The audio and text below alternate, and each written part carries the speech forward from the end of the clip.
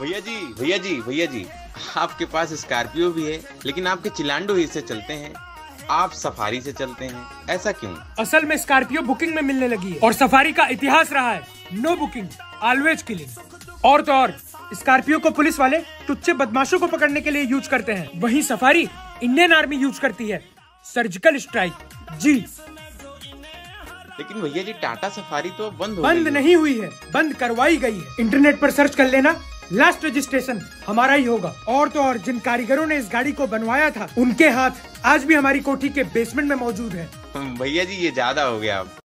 निकल जाओ वरना पट्टा पड़ेगा भी। ए, निकालो इसको बाहर। बहुत मारेंगे बेटा। हट!